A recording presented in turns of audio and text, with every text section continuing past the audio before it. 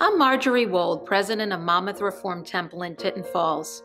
We're a thriving congregation of more than 60 years. COVID 19 caused us to close our doors, but our hearts and our community remain open. We look forward to seeing you for the High Holy Days this year. So come grab a prayer book at our door and watch us from home on live stream www.monmouthreformedtemple.org. Just go to the homepage and click on live stream and join us for the holidays. I want to wish you and your family a very happy new year. Lashana Tova.